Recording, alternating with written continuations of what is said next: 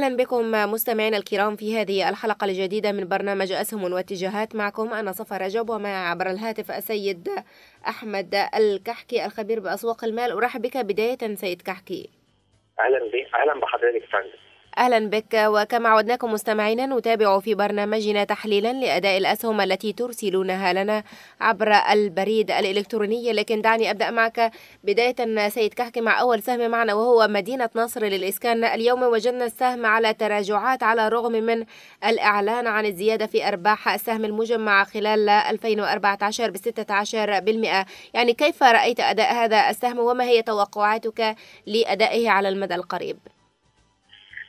السهم واضح عليه ضعف شوية الاتجاه الصاعد اللي هو مستمر من اللي هو كان مستمر من شهر 12 لغاية دلوقتي ابتدى يضعف شوية. ممكن نشوف فيه جني أرباح بسيط ممكن نشوف ال 34 أو ال 33 تاني وبعد كده إن شاء الله نعود الصعود إن شاء الله.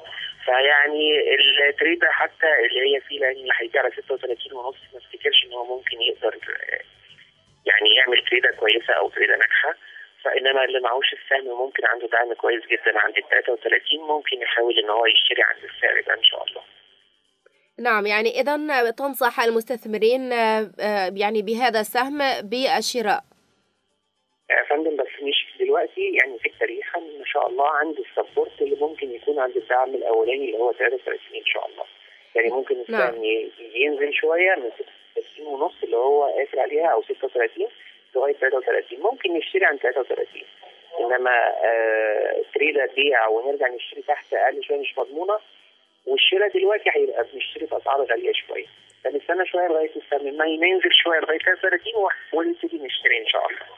نعم. طيب إذا انتقلنا للسهم الثاني معنا وهو سهم جنوب الوادي للإسمنت.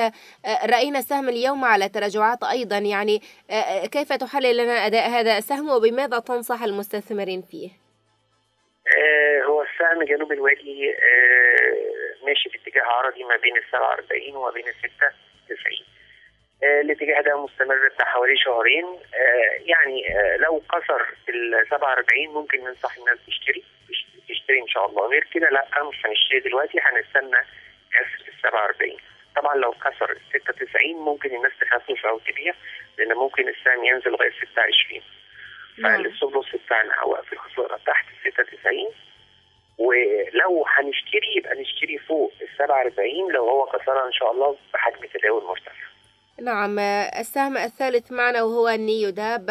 أيضا على تراجعات بعد الإعلان عن نتائج الشركة وتكبدها 248 ألف جنيه خسائر في 2014 كيف تحلل لنا أداء هذا السهم خلال جلسة اليوم؟ وكذلك رؤيتك لأدائه على المدى القريب؟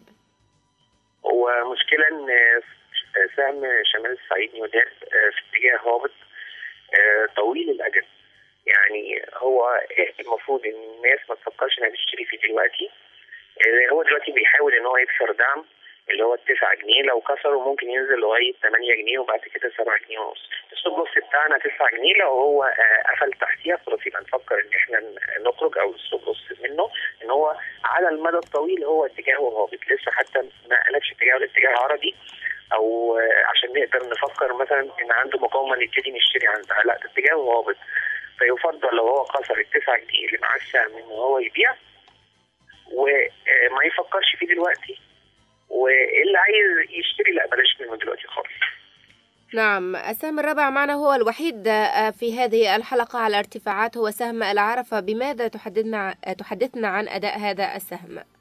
هو الارتفاع بتاعه بسيط يعني هو بقاله فترة مثلا أسبوع في أو أو أكتر في اتجاه صاعد بس لسه برضه ما خدش اتجاه صعودي على المدى المتوسط أو المدى الطويل فيفضل اللي مع السهم ان هو يخفف شوية على ال 17 لأن ممكن احتمال السهم ان هو ينزل ل 15 سنت أو 14 سنت.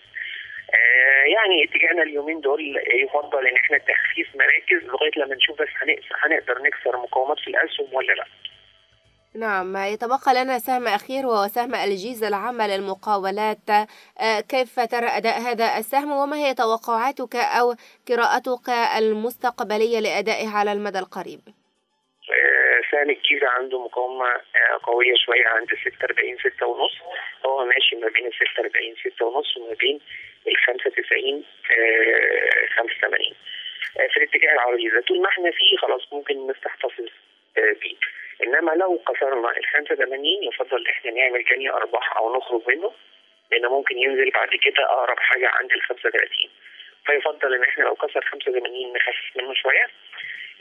لو كسر ساعتها ال 46 أو 6 ونص دي مقاومة شديدة جدا فلو كسر يبقى ننصح بالشراء إن شاء الله. آه غير كده لا مش هننصح بالشراء دلوقتي هنستنى بس يا إما نكسر ال 85 ونخرج يا إما نستنى احتفاظ اللي معاه السهم لو كسر ال 5 56 يزود شوية أو إن هو إن شاء الله يحتفظ بيه ويكمل بإذن الله. نعم في نهاية حديثي معك أشكرك سيد أحمد الكحكي الخبير بأسواق المال كنت ضيفا معنا على راديو مباشر. شكرا لك. وبهذا نصل مستمعينا الكرام إلى نهاية هذه الحلقة من برنامج أسهم واتجاهات. كنت معكم أنا صفا رجاب ولمزيد من تحليل الأسهم أرسلوا لنا أسهمكم المفضلة على راديوات مباشر دوت إنفو. ولمزيد من المعلومات يمكنكم زيارة موقعنا الإلكتروني مباشر دوت إنفو. وإلى أن نلتقي بكم في حلقة جديدة دمتم في أمان الله.